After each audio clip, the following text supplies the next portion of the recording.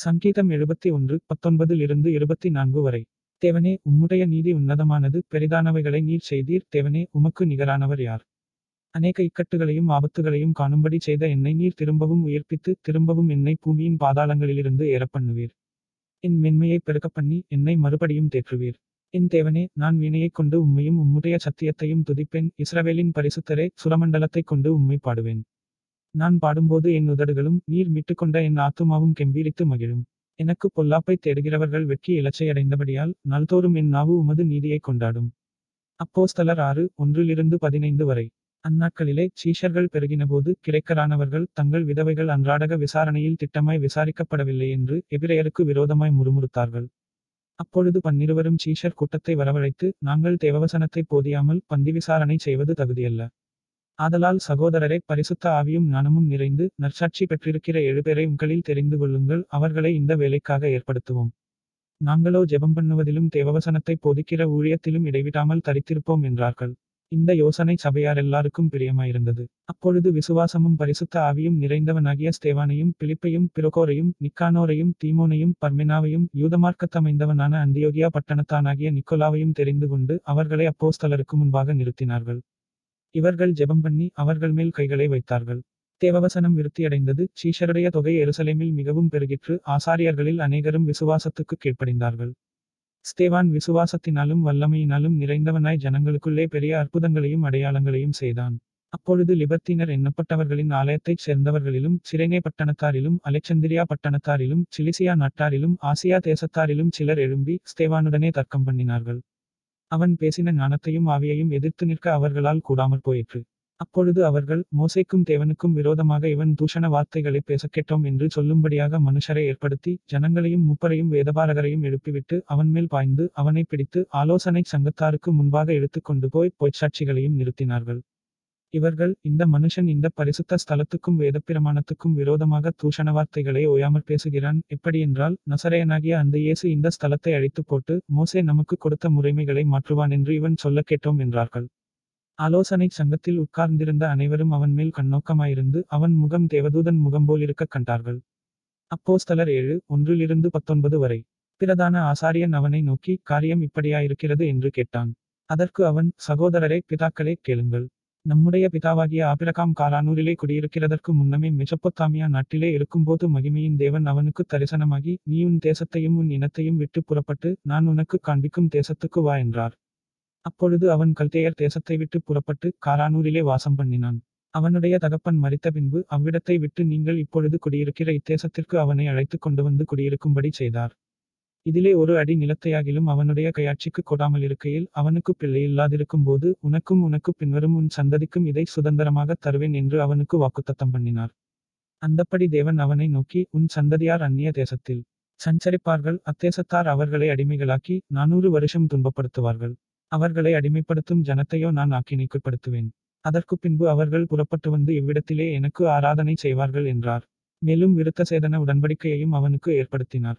அந்தப்படியே அவன் ஈசாக்கை பெற்றபோது எட்டாம் நாளிலே அவனை விருத்தசேதனம் பண்ணினான். ஈசாக்கு யாக்கோபையும் யாக்கோபு பன்னிரண்டு கோத்திரப்பிதாக்களையும் பெற்றார்கள். அந்த கோத்திரப்பிதாக்கள் பொறாமை கொண்டு யோசேப்பை எகிப்துக்கு கொண்டு போகும்படியாக விற்று போட்டார்கள். தேவனோ அவனுடனே கூட இருந்து எல்லா உபத்திரவங்களினின்றும் அவனை விடுவித்து எகிப்தின் ராஜாவாகிய பார்வோன் சமூகத்திலே அவனுக்கு கிருபையையும் ஞானத்தையும் அருளினார். அந்த ராஜா அவனை எகிப்து தேசத்திற்கும் தன் வீடனைத்திற்கும் அதிகாரியாக ஏற்படுத்தினான். பின்பு எகிப்து கானான் என்னும் தேசங்களிலெங்கும் பஞ்சமும் மிகுந்த வருத்தமும் உண்டாகி நம்முடைய பிதாக்களுக்கு ஆகாரம் கிடையாமற் போயிற்று. அப்பொழுது எகிப்திலே தானியம் உண்டென்று யாக்கோபு கேள்விப்பட்டு நம்முடைய பிதாக்களை முதலாந்தரம் அனுப்பினான். இரண்டாந்தரம் யோசேப்பு தன்னுடைய சகோதரருக்கு தன்னை தெரியப்படுத்தினான். யோசேப்புடைய வம்சமும் பார்வோனுக்கு தெரிய வந்தது பின்பு யோசேப்பு தன்னுடைய தகப்பன் யாக்கோபும் தன்னுடைய இனத்தார் யாவருமாகிய எழுபத்தைந்து பேரை அழைக்க அனுப்பினான். அந்தப்படி யாக்கோபு எகிப்துக்கு போனான். அவனும் நம்முடைய பிதாக்களும் மறித்து அங்கேயிருந்து சீக்கேமுக்கு கொண்டுவரப்பட்டு ஆபிரகாம் சீக்கேமின் தகப்பனாகிய எமோருடைய சந்ததியாரிடத்தில் ரொக்கக்கிரயத்துக்கு வாங்கியிருந்த கல்லறையில் வைக்கப்பட்டார்கள். ஆபிரகாமுக்கு தேவன் ஆணையிட்டு அருளின வாக்குத்தத்தம் நிறைவேறும் காலம் சமீபித்தபோது யோசேப்பை அறியாத வேறொரு ராஜா தோன்றின காலமளவும் ஜனங்கள் எகிப்திலே பழுகி பெருகினார்கள். அவன் நம்முடைய ஜனங்களை வஞ்சனையாய் நடப்பித்து நம்முடைய பிதாக்களின் குழந்தைகள் உயிரோடிராதபடிக்கு அவர்கள் அவைகளை வெளியே போட்டுவிடும்படி செய்து அவர்களை உபத்திரவப்படுத்தினான். இரண்டு சாமுவேல் பதினைந்து பதிமூன்றிலிருந்து முப்பத்தி ஏழு வரை.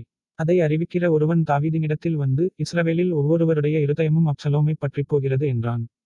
அப்பொழுது தாவீது எருசலேமிலே தன்னிடத்திலுள்ள தன்னுடைய எல்லா ஊழியக்காரரையும் நோக்கி எழுந்து ஓடிப்போவோம் இல்லாவிட்டால் நாம் அப்சலோமுக்கு தப்ப இடமில்லை. அவன் தீவிரித்து நம்மிடத்தில் வந்து நம்மை பிடித்து நம்மேல் பொல்லாப்பு வரப்பண்ணி நகரத்தை பட்டயக்கருக்கினால் சங்காரம் பண்ணாதபடிக்கு தீவிரமாய் புறப்படுங்கள் என்றான். ராஜாவின் ஊழியக்காரர் ராஜாவை பார்த்து இதோ ராஜாவாகிய எங்கள் ஆண்டவன் கட்டளையிடும் காரியத்தை எல்லாம் செய்ய உமது அடியாராகிய நாங்கள் ஆயத்தமாயிருக்கிறோம் என்றார்கள்.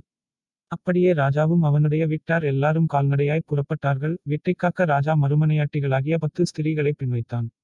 ராஜாவும் சமஸ்த ஜனங்களும் கால்நடையாய் புறப்பட்டு சற்றுத்தூரம் போய் ஒரு இடத்திலே தரித்து நின்றார்கள். அவனுடைய ஊழியக்காரர் எல்லாரும் கிளத்தியர் யாவரும் பிழைத்தியர் யாவரும் அவன் பக்கத்திலே நடந்து போனார்கள். காத்தூரிலிருந்து கால்நடையாய் வந்திருந்த அறுநூறு பேராகிய கித்தியர் எல்லாரும் ராஜாவுக்கு முன்பாக நடந்தார்கள். அப்பொழுது ராஜா கித்தியனாகிய இத்தாயை பார்த்து நீ எங்களுடனே கூட வருவானேன். நீ திரும்பிப் போய் ராஜாவுடனே கூட இரு. நீ அந்நிய தேசத்தான். நீ உன் இடத்திற்கு திரும்பி போகலாம். நீ நேற்றுதானே வந்தாய்? இன்று நான் உன்னை எங்களோடே நடந்து வரும்படிக்கு அழைத்து கொண்டு போகலாமா? நான் போகக்கூடிய இடத்திற்கு போகிறேன். நீ உன் சகோதரரையும் அழைத்து கொண்டு திரும்பிப்போ கிருபையும் உண்மையும் உன்னோடே இருப்பதாக என்றான்.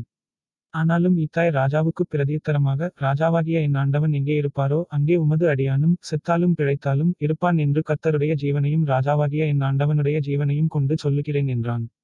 அப்பொழுது தாவீது ஈத்தாயை நோக்கி நடந்து வா என்றான். அப்படியே கித்தியனாகிய இத்தாயும் அவனுடைய எல்லா மனுஷரும் அவனோடிருக்கிற எல்லா பிள்ளைகளும் நடந்து போனார்கள். சகல ஜனங்களும் நடந்து போகிறபோது தேசத்தார் எல்லாரும் மகா சத்தமாய் அழுதார்கள். ராஜா கீதரோன் ஆற்றைக் கடந்தான். ஜனங்கள் எல்லாரும் வனாந்தரத்திற்கு போகிற வழியே நடந்து போனார்கள். சாதோக்கும் தேவனுடைய உடன்படிக்கை பெட்டியை அவனோடே கூட இருந்து சுமக்கிற சகல லேவியரும் வந்து தேவனுடைய பெட்டியை அங்கே வைத்தார்கள். ஜனங்கள் எல்லாரும் நகரத்திலிருந்து கடந்து தீருமட்டும் அபியத்தார் திரும்பி போயிருந்தான். ராஜா சாதோக்கை நோக்கி தேவனுடைய பெட்டியை நகரத்திற்கு திரும்ப கொண்டு போ. கர்த்தருடைய கண்களில் எனக்கு கிருபை கிடைத்ததானால் நான் அதையும் அவர் வாசஸ்தலத்தையும் பார்க்கிறதற்கு என்னை திரும்ப வரப்பண்ணுவார். அவர் உண்மையில் எனக்கு பிரியமில்லை என்பாராகில் இதோ இங்கே இருக்கிறேன். அவர் தம்முடைய பார்வைக்கு நலமானபடி எனக்கு செய்வாராக என்றான். பின்னும் ராஜா ஆசாரியனாகிய சாதோக்கை நோக்கி நீ ஞானதிருஷ்டிக்காரன் அல்லவோ?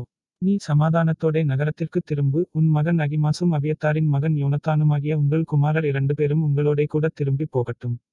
எனக்கு அறிவிக்கிறதற்கு உங்களிடத்திலிருந்து செய்தி வருமட்டும். நான் வனாந்தரத்தின் வெளிகளிலே தரித்திருப்பேன் என்றான்.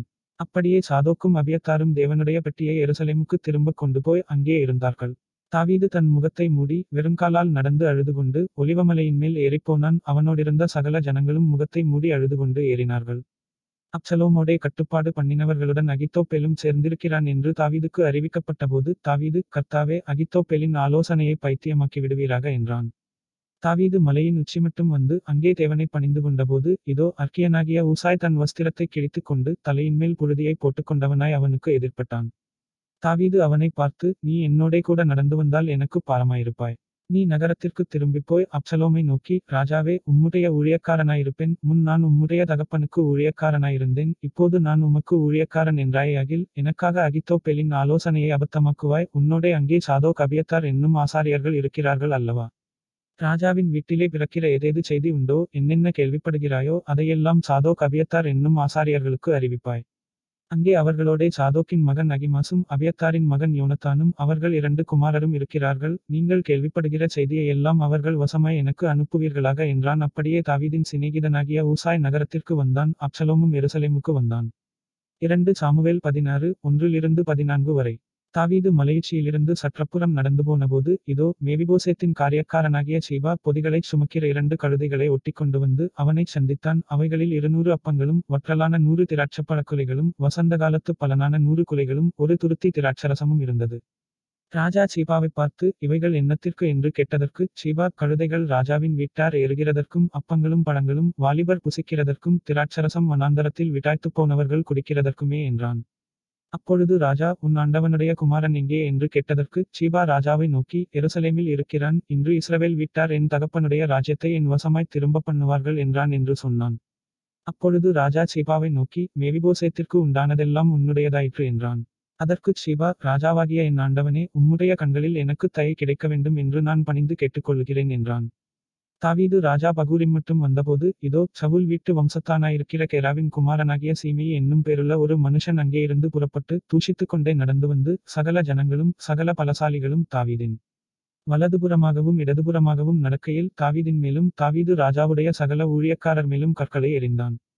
சீமையை அவனை தூஷித்து இரத்தப்பிரியனை பெலியாளின் மனுஷனை தொலைந்து போ தொலைந்து போ சவுலின் ஸ்தலத்தில் ராஜாவான உண்மையில் கர்த்தர் சவுல் வீட்டாரின் இரத்தப்பழியை திரும்பப் பண்ணினார். கர்த்தர் ராஜபாரத்தை உன் குமாரனாகிய அப்சலோமின் கையில் ஒப்புக் கொடுத்தார். இப்போதும் இதோ உன் அக்கிரமத்தில் அகப்பட்டாய். நீ இரத்தப்பிரியனான மனுஷன் என்றான்.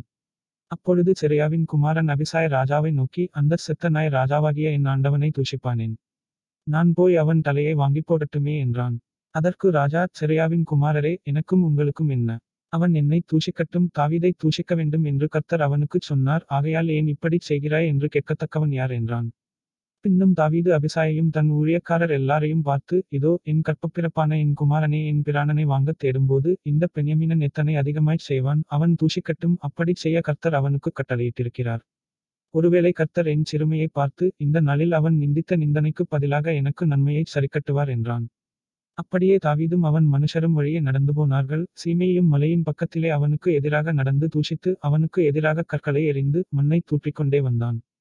ராஜாவும் அவனோடிருந்த சகல ஜனங்களும் விட்டாய்த்தவர்களாய் தங்குமிடத்திலே சேர்ந்து இளைப்பாறினார்கள்.